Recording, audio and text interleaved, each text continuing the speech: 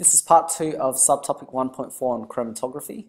We're going to firstly talk about column chromatography because it has links into the other forms which you'll need to know about. Column chromatography is used to isolate components of a mixture. Uh, analysis or identification of those components can then follow. It uses a column that's very similar to a burette. So it's a vertical column that's going to be packed with a solid adsorbent uh, substance uh, that being our stationary phase. The mobile phase, which is called our eluent, is going to be constantly supplied, and this will just pass through our column by gravity. Here's a diagram showing you uh, a setup of column chromatography. So starting off, we've actually got our column here, which is packed with our stationary phase. Our mixture to be separated is going to be dissolved in the mobile phase and then it's going to be injected at the top of our column here. We have to continuously add our mobile phase throughout this process so that it doesn't dry and it allows and encourages the separation of the components in the mixture. So as we keep doing that, the components will start to separate because of their differing attractions between the stationary phase and mobile phase. Eventually, we're going to get to this point where the components are going to be collected and we can use a test tube or a flask um, as it reaches the bottom of the column. Once we've collected this particular fraction, we can then go ahead and collect a different fraction in another test tube or another flask. Here's another diagram just to show you what's going on and what this just highlights are the interactions between the stationary and mobile phase. So we've got our loaded sample here, our stationary phase here, we add in our mobile phase and we allow that to just elute through the column. We can see that out of this mixture of um, blue and red dye, the red dye actually has weaker interactions with the stationary phase. We can say it is less strongly adsorbed to it, whereas the blue dye itself is more strongly adsorbed. And so that means the red component is going to be eluted first. We can collect that followed by the blue component, which we can elute uh, secondly. The principles of column chromatography are going to look very similar to when we talk about gas chromatography. Gas chromatography can effectively separate gaseous mixtures and volatile mixtures.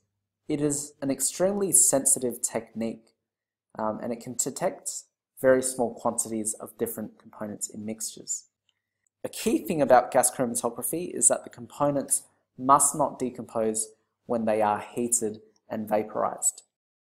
Some common applications involve blood alcohol analysis, analysis of urine samples from athletes for performance enhancing drugs, as well as drug detection in forensic science, as well as the other ones that I've mentioned down here as well.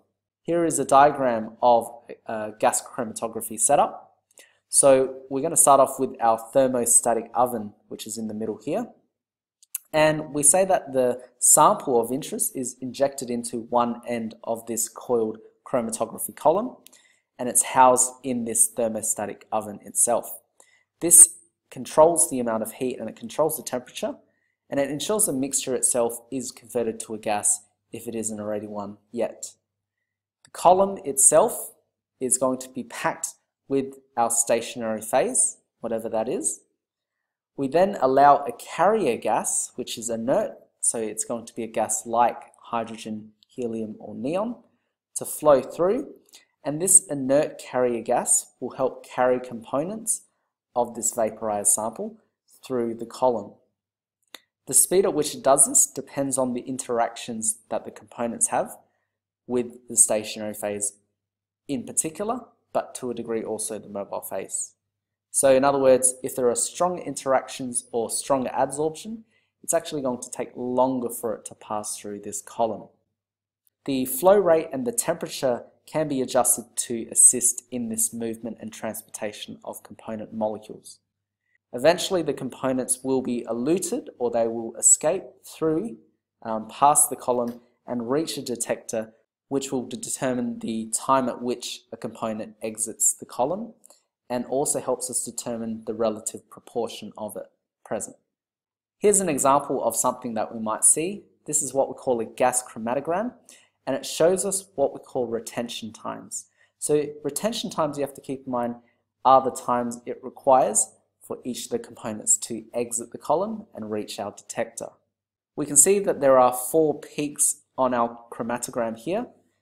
Time increases from left to right. We can see that those components with the shorter time, the shorter retention time, are going to be those that are less strongly adsorbed to the stationary phase. Whereas these components here, which had a longer retention time, would have been more strongly adsorbed, so it took more time for them to pass through the column. An additional piece of information we can get is based on the size of the peaks themselves. So smaller peaks often indicate a lower concentration of that component in the mixture, whereas a larger peak will indicate a higher concentration. So let's come back to retention time. Retention time is defined as the time taken for a component to be eluted from or to pass through a column. Retention times are also going to be characteristic of the component with respect to whatever stationary and mobile phase that you use.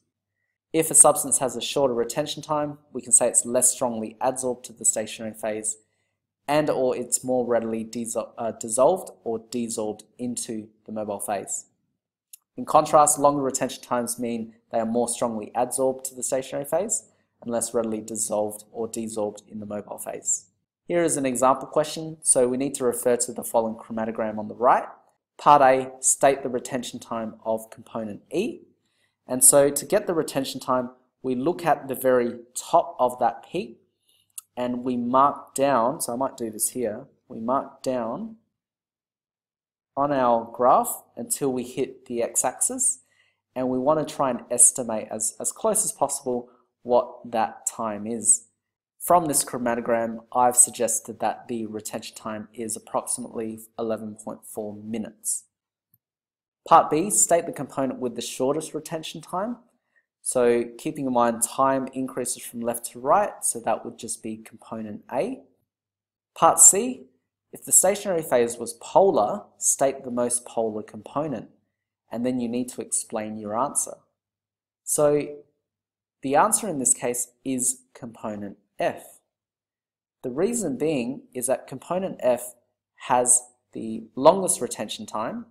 This means it's formed the strongest interactions with the polar stationary phase, meaning obviously it's, it requires more time to elute from the column and as a result results in the longest retention time.